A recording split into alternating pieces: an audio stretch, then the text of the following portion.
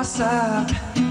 我知道你看我不顺眼，So what？动大一点，动大一点想。看到你的脸，Shut up！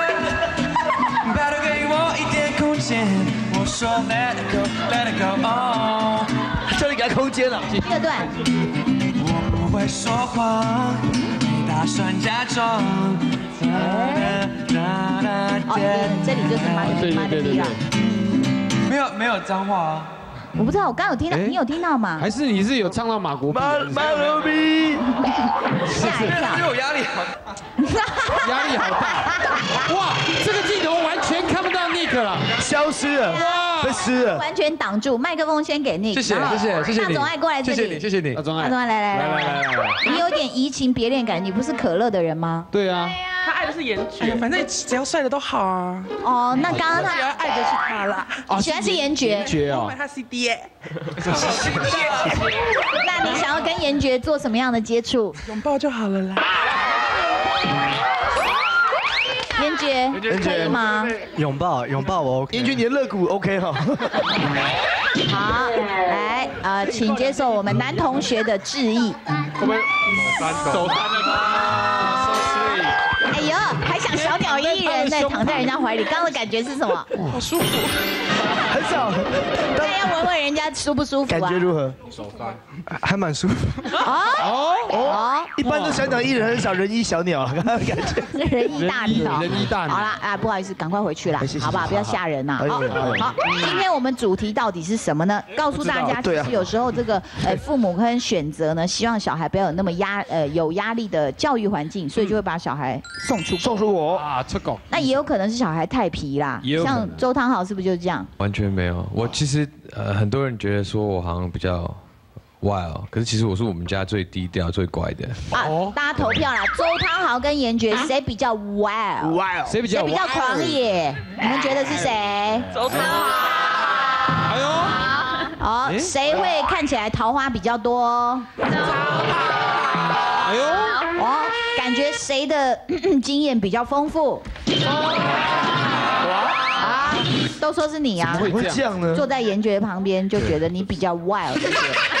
没有，真的没有，就是呃，我们家里面其实我我从小就我也没闯什么祸，然后我也没有翘课或是说什么，就是从小就是乖乖的这样子。哦，对十五岁就出国了嘛十？五岁出国，哦，那个时候是为什么？就是去求学。呃，其实就是高一嘛，那妈妈也觉得说，呃，可能中文也都会啊，那在台湾长大，然后说让我去国外洗礼一下这样子。那另外严爵是什么时候出国的？我十岁出去的，哦，十岁更早了。到哪里？到加州。哇，太开心啦！哇，所以真正狂野的是他，每天都在看比基尼啊、是不是？没有吗？啊没有，怎么可能？哇！那你第一次的，就是说，哎，在流汗的。哦，十岁去，那主要是主修音乐吗？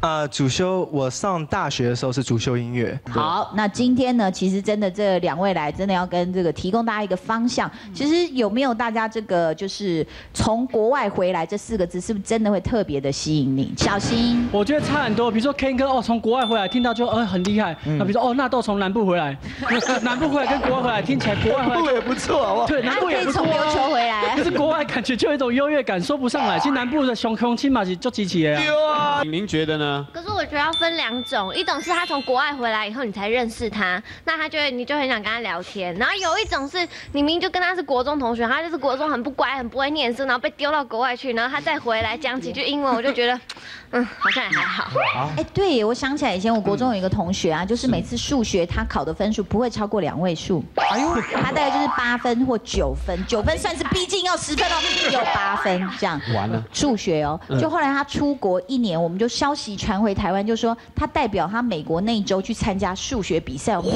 哇，纳尼？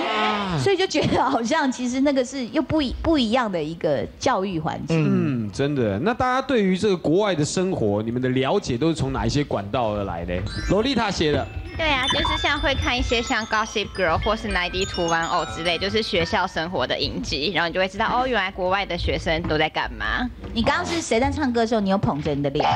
严爵，我哦，呀，喜欢这一种的喜欢他。女大生第一零一次相亲，这次真的嫁出去了吗？颜爵喜欢什么样的女生？孝顺的。哦，她好孝顺哦。超孝顺的。你交过男朋友的